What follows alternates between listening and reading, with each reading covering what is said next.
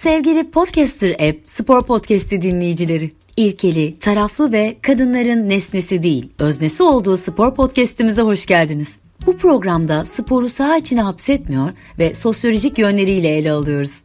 Oyunlardan bir dünya kuran ve sporu yaşamın tam da merkezinden anlatan program Anıl Hoca ile yakın markaj başlıyor.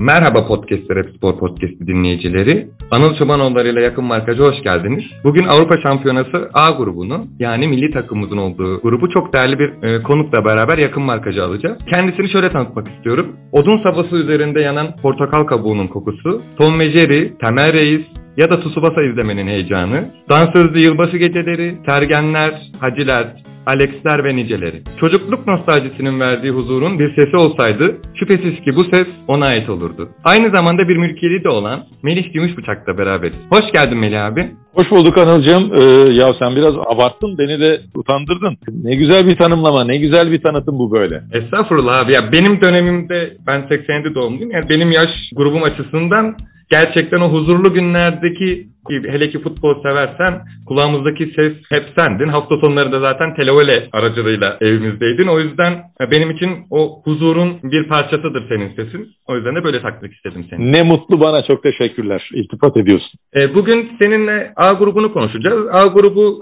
aslında Avrupa Şampiyonası'ndaki bizi de ilgilendiren milli takımımızın da olduğu ve sanırım en çekişmeli grup. O yüzden sana birkaç soru soracağım. Aslında soru cevap üzerinden karşılıklı konuşarak da bu programı yürüteceğiz. Evet, Öncelik, evet. Öncelikle milli takım üzerinden sana bireysel bir soru sorayım. Buradan da aslında grubumuza geliriz. Şimdiye kadar anlattığım milli maçlar içerisinde en çok sevindiğin ve en çok üzüldüğün maç hangisi? Doğrusunu söylemek gerekirse bazı maçlar üzerinden hani kararsızlık geçirmiş durumdayım. Çünkü hakikaten mesela daha yakın zamanda ise e, eleme grubunda üst üste kazanıp da hani milyonda bir olacak belki de ihtimallerin olduğu bu Letonya, e, Hollanda ve e, İzlanda maç serisi vardı. Üç maçın üst üste oynandığı bir dönemde. 2016 Avrupa Şampiyonası eleme grubunda biz e, Letonya'yı rahat geçeceğimizi düşünürken içeride berabere kaldık. Sonra Hollanda ve İzlanda maçları vardı. Grupta zaten direkt rakibimiz olan ve bizi sıkıntıya sokabilecek durumda olan takımlardı. Futbol sıralamasına da bakınca Avrupa ve dünyada UEFA ve FIFA sıralamalarında. Ama biz Hollanda'yı 3-0 sonrasında da İzlanda'yı bir sürü olasılığın çok düşük olan olasılığın üst üste denk geldiği bir ortamda Selçuk'un son dakika free kick serbest vuruş golüyle yendiğimiz karşılaşma mesela çok sevindiğim, hiç unutamadığım ve büyük keyif aldığımız kazanmak güzel oluyor tabii. E, maçlardan bir tanesiydi. Biraz daha geriye gidersek 2008'de Portekiz mağlubiyetiyle başlamıştık gruba. E, ikinci maçta İsviçre maçıydı ve ev sahibi takım Bazel'de oynayacaktık. Öz ve öz Türk çocukları da vardı İsviçre takımında e, bardaktan boşanırcasına yağan bir yağmur vardı. Sırılsıklam olmuştu saha.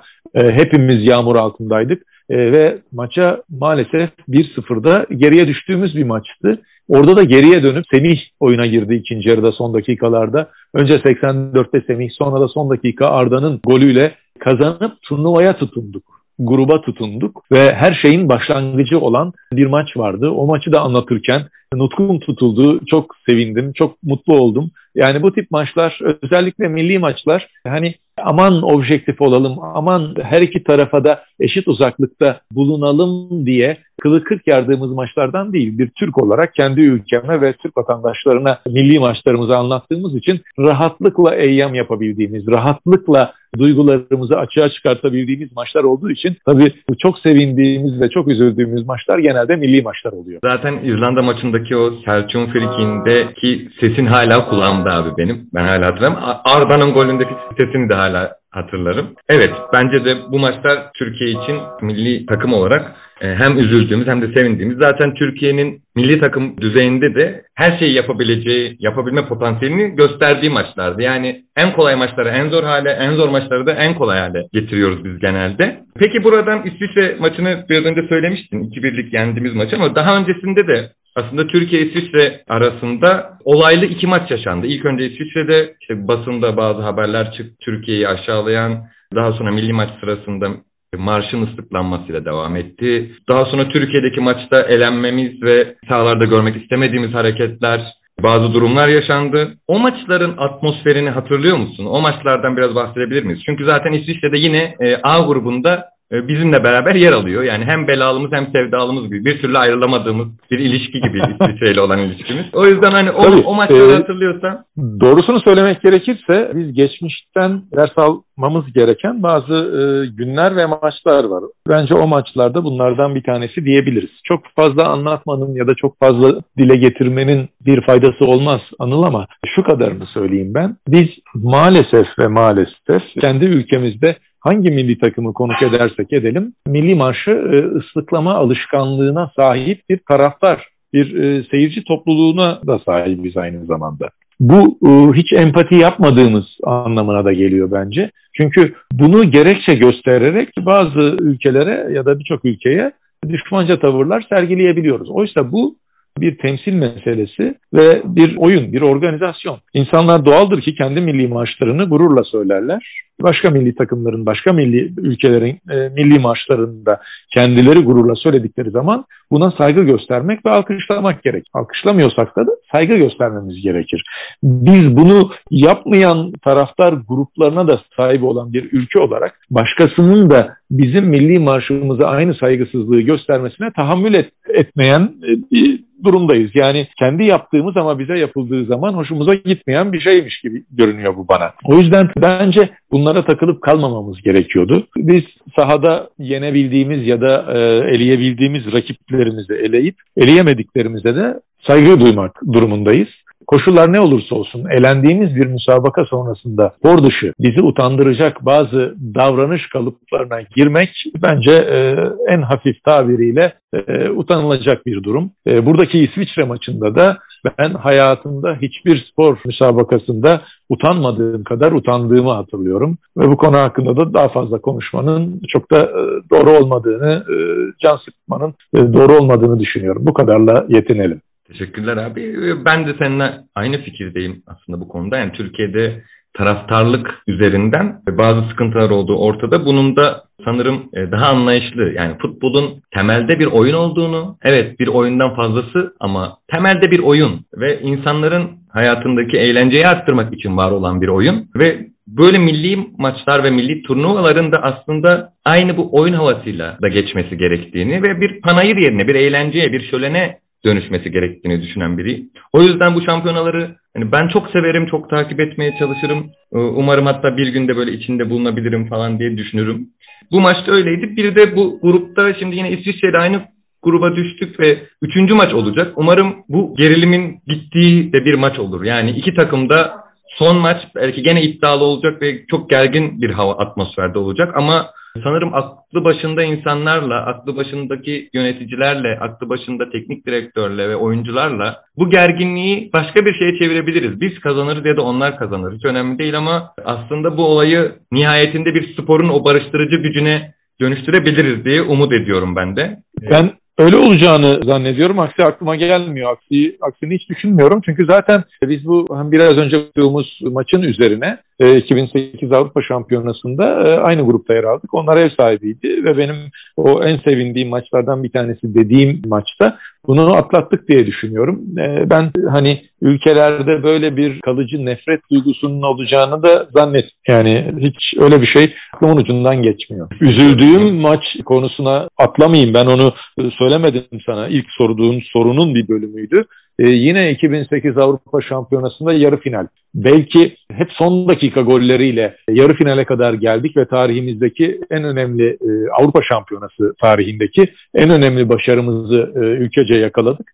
E, ve son dakikalarda hatta orada artık İsviçre ve Avusturya'daki turnuvada Türkler otobüse binmeden o maç bitmiş sayılmaz diye bir laf. Yani Almanya maçı. Hakikaten e, Almanya maçı en çok üzüldüğüm maçtır. Çünkü orada da tam tersi e, oraya kadar gelen e, milli takımımızın hikayesinin tam tersini yaşadık. Yani biz öne geçtik. E, belki de turnuvanın en iyi maçını oynadık. Ama e, bu sefer Philip Lahm son dakikalarda atınca üzülen taraf biz olduk. O maç benim mesela anlatırken de çok e, üzüldüğüm, hayal kırıklığı yaşadığım, hatta mesleki kaygıları e, unutup tamamen bir taraftar gibi anlattığım maçtır. Hala üzülürüm yani o maç aklıma gelince. 2008 zaten bence sadece evet yani biz Türkiye'deyiz de bizim milli takımımız, bizim mahallenin çocukları açısından biz çok heyecanlandık. Bir hikaye yazdık, bir sürü sakatlık yaşadık. Buna rağmen devam etti. Hep son dakikalarda attık. Bu dediğin tabirler konuşulmaya başladı. Bununla ilgili şimdi bir belgesel çekildi bir platformda. Onu izlediğinizde işte Alan Shearer, ünlü İngiliz golcü, o zaman yorumcu, 2008'in yorumcusu ve yani inanılmaz yorumlar yapıyorlar. Çok şaşırıyorlar ve Almanya ile yarı finalde eşleşiyoruz. Tabii ki favori Almanya olarak görmesi gerekiyor. Bu yorumda bulunamıyorlar. Diyorlar ki evet Almanya'nın favori olduğunu biliyoruz ama karşısında Türkiye var ve maç 90 dakika son 10 dakikada ne olacağını bilmiyoruz diyor. Zaten o maçta da biz golü de 85'te atıyoruz değil mi? Ben öyle hatırlıyorum. Uğur Boral da öne geçmişti. Uğur'la evet. Hatta Colin Kazım vuruyor. Direkten dönüyor. dönüyor. Daha doğrusu şey yapıyor. E, Uğur tamamlıyor. Ama ondan sonra ve ne goller kaçırdık farkı da arttırabileceğimiz belki de turnuvanın en iyi maçını e, oynadık. Ama bu kez bizim daha önceki turlarda ve daha önceki maçlarda tiplerimize yaptığımızı e, Almanya bize yaptı ve maalesef kaybetti. Evet yani 2008'den sonra bence bir hikaye daha yazabileceğimiz bir turnuvaya katılıyoruz. Ben öyle düşünüyorum. Oyuncu grubu buna çok e, müsait ve yatkın. E, Şenol Güneş'in de aslında oyun yapısını, oyun tarzını çok beğenirim ve bu kadroyla da çok uyumlu olabileceğini düşünüyorum. O zaman sana hemen hem de grupta Türkiye ve İsviçre'yi anlatabileceğim bir yere pas atmış olayım böylece.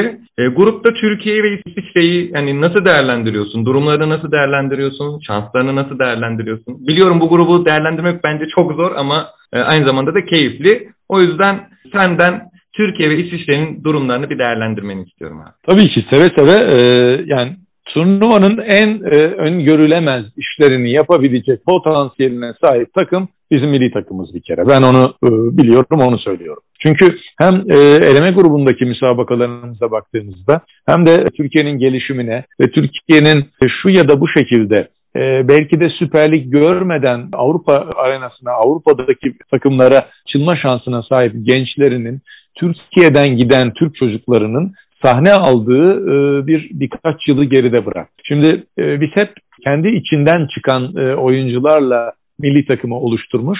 Ama e, bunu da hani Almanya, Hollanda gibi futbol endüstrisine e, eğitimleriyle katkıda bulunmuş, ekol olmuş ülkelerde yetişen gurbetçi çocuklarımızla da desteklemiş. Son zamanlarda e, ligimize baktığımızda e, gurbetçi gençlerimizin Almanya'da altyapılarını tamamlayan, Almanya'da fundamentallarını alan gurbetçi gençlerimizin hem Süper Lig'de hem de e, Türkiye'de profesyonel alt liglerde ağırlıkta oynadığı bir futbol ortamımız var, ekosistemimiz var. Bu ekosistemi belki de değiştirebilecek tarzda e, bir gidişat başladı son birkaç yılda. Ben bunu hiç kuşkusuz çok değerli olan, iç piyasada çok değerli belki de olması gerekenden daha pahalıya mal olmuş Türk oyuncusunun e, dışarıya çıkmama isteğinin yabancı sayısının yükseltilerek kırılmasına ve e, içeride fırsat bulamayan Türk oyuncuların da patır patır dışarıda kendilerini deneme ve o kantara çıkma fikrine e, daha sıcak bakmalarına bağlıyorum. Ve bu nedenle de hakikaten hem mental gelişimlerini hem de oyun olarak, anlayış olarak gelişimlerini Türkiye'de olduğundan çok daha fazla yapabildiklerini düşünüyorum. İşte bunlara örnek Zeki olur, buna örnek Uğur, e, Umut Meraş olur, bunlara örnek Yusuf olur. Yani artık bu örnekler ve bu referanslarla Türk oyuncusunun aklında gidip kendini yurt dışında Avrupa'da e, görmek, gözlemlemek ve orada bir kıyas yapmak, orada bir meydan okuma fikrinin e, yerleştiğini söyleyebiliriz. Artık ya bana nasıl olsa burada dışarıda alamayacağım paraları veren takımlar var. Ben niye gideyim zihniyetinden sıyrılarak oyuncularımız, anlı şanlı takımlarımızdaki oyuncularımız ben sözleşmemi uzatmayacağım, yurt dışında oynamak istiyorum diye yöneticilerine gelmeye başladılar. Bu da bence ülke futbolunun gelişmesi için önemli hareket tarzlarından bir tanesi. İşte bu sebepten dolayı bizim milli takımımız Avrupa'da üst düzey takımlarda forma giyen oyunculardan oluşan bir milli takım haline geldi. Hem etiket olarak hem de sahaya koydukları performans olarak bakıldığında bugün bu milli takım için final oynaya e, oynadığı zaman kim şaşırır? Sen şaşırır mısın? E, kesinlik, kesinlikle şaşırmam. Yani zaten kadroya bakıyorum. Bu hem genç oyuncular hem de bu sene Çağlar Leicester City'de kupa aldı. Burak, e, Zeki, Yusuf Paris Saint Germain hegemonyasını yıktılar. Hakan Tabii. Çalhanoğlu Milan'la çok iyi bir sezon geçirdi. Yani aslında bu oyuncular hem yurt dışında oynadı ama bir yandan da başat takımlarda oynadılar. Yani kazanmaya alışık, kazanmaya yönelik takımlarda oynadılar. Bence bu çok büyük bir avantaj. Yani futbolda winner dediğimiz durum vardır ya işte Hacı için bundan bahsederiz, Alex Hı hı. için, Sergen için söylediğimiz şey. Yani kazanmaya alışık oyuncu haline gelmeleri bence bu turnuvada çok önemli bir fark yaratacak bizim açımızdan. Yüzde yüz. İşte o nedenle. Ama aynı milli takımdan bahsederken grup maçlarında ilk ikiye ya da ilk üçe giremeyip grubu sonuncu tamamlayıp evine dönse milli takım şaşırır mısın peki? Kesinlikle şaşırmam ona da yani. Üzülürüz ama şaşırmayız değil mi? Tabii ki şaşırmam. Yani biz çünkü biraz da mental olarak e, odaklanıp odaklanamadığımıza çok bağlı oynuyoruz futbolu. Yani o konsantrasyon seviyesi, o turnuvada motive olabilmiş bir takım halinde motive olmuş bir yapıda olursak ben çok iyi işler başaracağımızı düşünüyorum ama bir yandan da çok zorlu bir gruptayız. İsviçre'ye yenilsek neden yenildik? Nasıl yeniliriz demem. Galler'e yenilsek demem. İtalya'ya zaten diyemeyiz. Yani dediğim şu ki grup çok zorlu. Yani birbirine denk, birbirinin yapısına da aslında birbirini bozucu takımlar var. Biraz sonra yine bahsederiz. Birbirinin yapısını çok bozabilecek takımlar var. Ve evet yani Türkiye bence katıldığı her turnuvada bir şenlik yaşatıyor. Bir sürpriz yaşatıyor. İyi ya da kötü ama kesinlikle bir sürpriz yapıyor. Bu, bu turnuvanın da sürprizi yine Türkiye olabilir bence de. Yani turnuvanın bilmiyorum sürprizi mi olur yoksa plastesi mi olur e, hiç bilmiyorum. Fakat bu Türkiye bir kere turnuvaya keyif verecek bir takım haline geldik. Ve Muhakkak. gerçekten de gerçekten de ben e, hani acayip bir şey bekliyorum, başarı bekliyorum. Ve o başarıyı da arzuluyorum. Çok çok istiyorum. Bakalım göreceğiz. Ama senin söylediğin gibi bir kere şimdi ölüm grubu değiliz yani Portekiz, Fransa, Almanya'nın hepsinin birden olduğu grupta değil. O daha spektaküler, daha böyle tam ölüm grubu olarak adlandırılan grup. Ama bizim grubumuz da senin söylediğin gibi hiç öyle çok aşırı farklılıkları olan takımların yer aldığı bir grupta değil. Yani şimdi bakarsak eğer İtalya futbolu kol olarak oynayan bir dünya takımı. Şimdi Galler her ne kadar Birleşik Krallık içerisinde e, onun gölgesinde kalmış, e, İngiltere'nin gölgesinde kalmış olsa da Premier Lig oyuncularının ağırlıkta oluşturduğu bir takım. İsviçre bizim için her zaman problem olabilmiş. Hatta içinde Türk oyuncuların da olduğu, e, Arnavut oyuncuların, Kosovalı oyuncuların yani gerçek İsviçreli oyuncunun teknik olduğu bir takım. Yani onlar da melez bir takım. Bugün baktığımızda böyle ari milli takımları göremiyoruz. 98'in şampiyonu Fransa adım adım öyle bir noktaya geldi ki şu anda Fransız milli takımında kaç tane Fransız var tartışılır. Böyle oyunlar, böyle takımlar kurulmaya başlandıktan ve bu şekilde dünya futbolunda farklı farklı ekoller farklı şekillere dönüşmeye başlayınca grupta neyin ne olacağını hiç kimse bilemez. Şimdi İsviçre takımı zaten enteresan bir takım. FIFA Dünya sıralamasına baktığımızda İtalya 7. sırada. İsviçre 13. sırada ee, Anıl. Galler 17. sırada. Milli takımımız 29. sırada. Şimdi böyle baktığımız zaman ya biz grupta bu sıralamada en geride olan takımız hiç boşver e, ümitlenmeyelim denebilir. Oysa öyle mi? Hayır tam tersi durumda. Yani kesinlikle değil. O nedenle e, İsviçre tanıdık isimler var. Bir kere zaten e, çok uzun bir zamandır 2014'ten bu yana takımın başında Petkovic var. Ülkemizde de görev yapmış tanıdık bir isim. Bu bir istikrardır. Çok enteresan oyunculara sahip, dengeli bir takım aslında. Elemelerde Gürcistan, Cebeli Tarık, Danimarka ve İrlanda ile oynayan bir takım. 8 maçta 17 puanla grubu lider tamamlayarak finallere katılmaya hak kazandı. Şimdi Granit Xhaka var. Kardeşlerden bir tanesi Kosova takımında, bir tanesi şeyde, İsviçre milli takımında. İki kardeş bu, aynı anne babadan. Çaka kardeşler. Şimdi ve Çaka Arsenal'de oynayan 28 yaşındaki bu orta alan futbolcusu bir tane maç hatırlıyorum ben. 2019 eleme maçında 3-0 önde Danimarka'ya karşı oyundan alınıyor.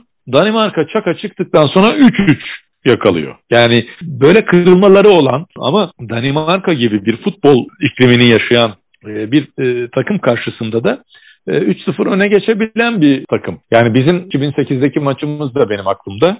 Yani bizi sürkülese edebilirlerdi. Yağmur kesildi. İşler bizim lehimize döndü. Doğru değişiklikleri de yaptık. Geri döndük ve onları bitirdik. Kendimiz e, bambaşka bir noktaya geldik. Ben tabii ki gönlümüz istiyor. Tabii ki e, öyle olmasını arzu ediyoruz. Hani bu üç karşılaşmanın üçününden de galibiyetle ayrılabilecek bir takımına sahip olduğumuzu biliyorum. Ama bu üç maçta da hiç galibiyet alamazsak şaşırmayacağımı da biliyorum. Böyle bir grup bizi bekliyor. Herhangi bir öngörüde bulunmak e, hakikaten tam bir kumar. Tabii ki ben de aynı fikirdeyim senin abi. Yani dediklerine ek olarak kısaca şöyle bir şey diyebilirim. İşte sen zaten sıralamaları söyledin. İtalya çok formda geliyor. Onda 10 yaptı. Mancini o da Türkiye'de çalışmış bir teknik direktör. Ama tek sıkıntıları orta sahası 4-3-3 oynuyorlar ve 4-3-3'ün orta sahasındaki iki as oyuncusu sakatlandı ve Euro 2020'de olmayacak. Tonali ve Jorginho. Yani bunlar çok önemli sakatlıklar.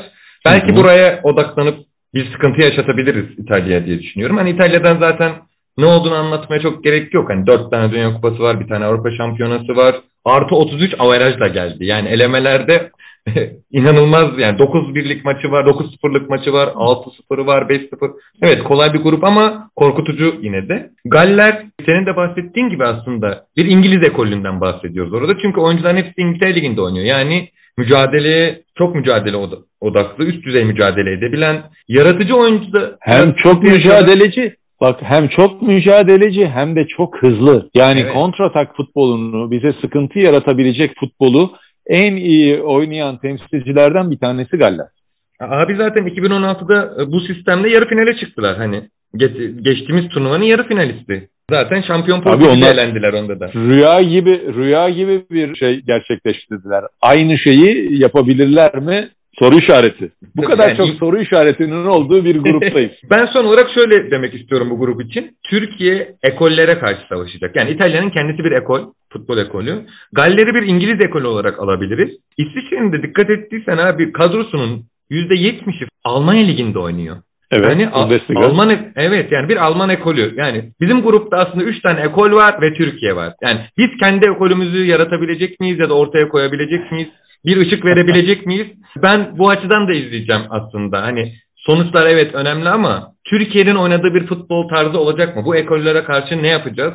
Ben Şenol Güneş'ten e, umutluyum her zamanki gibi. O yüzden heyecanla bekleyeceğiz. Evet. O zaman programın diğer bölümüne geçelim abi. Sana böyle çok kısa kısa soru cevap soru cevap iki tercih arasından tamam. bazı sorularım olacak. Hazırsan soruyorum abi. Evet. 2002'deki milli takım mı, 2008'deki milli takım mı? Valla 2002'de ben görevli değildim. TRT'deydi şampiyona. TRT'de göreve beraber başladığımız arkadaşlarımız oradaydı. Ben tamamen milli takımımızı seyirci olarak izliyordum. Tabii o takımda benim yaş grubuma, benim oynadığım döneme daha yakın, daha benden biraz daha genç olmakla birlikte bana yakın arkadaşlar vardı. Ben kendi futbolculuk kariyerimi planlarken 2002 Dünya Kupası benim milli takımla oynayacağım son Dünya Kupası şeklinde tasarlıyordum çocukken. Ee, Anıl e, o bambaşka. Bir de Şenol Hoca'nın derliğinde hakikaten yarı final oynama şansına sahip olması bir dünya şampiyonasında milli takımımızın yaşadığımız bir ilkti. Ee, onun yeri bambaşka ama 2008'deki milli takımımızla da beraber yolculuk yaptım. Yani o yolculuğu birlikte yaşadık. Birlikte e, onlar saha içindeydi, ben e, yukarıdaydım, anlatıyordum. Onun da tadı bir başkaydı. Ben ayırt edemiyorum şahsen. benim için de tabii öyle. Hani 2008'e daha yakın tarih hatırlıyorum ama ben bir tık farklı oyumu 2002'den yana kullanmıştım. Öyle söyleyeyim. Hemen diğer tamam. soruya geçiyorum. Aslında cevabı belli bir soru. Orhan Ayhan tabii. mı, John Mas Oho tabii canım herhalde Orhan abi. Orhan abi gibisi var mı? Orhan abiyle birlikte maçlara gitmiş, sohbetler etmiş bir meslek büyüğü olarak topluma mal olmak. Bir sesin topluma mal olması öyle kolay e, olmuyor. Orhan Ayhan her zaman için. Hem fikrim tabii ki. Uğurcan mı Altay mı? Uğurcan mı Altay mı? Vallahi çok zor bir soru. İkisini birden. Ben takım çalışırsaydım ikisini isterdim. E, benim için Uğurcan bir tık önde. Ümit Davala'nın saç tıraşı mı, Ronaldo'nun saç tıraşı mı? 2002'den hatırlarsın. Ya ikisi de mümkün değil yani. Ben hayatta yapamam. İkisi de değil abi. ben sorunun üzerine çarpı atmışım zaten. Hani benimle tamam. Aynı yönde.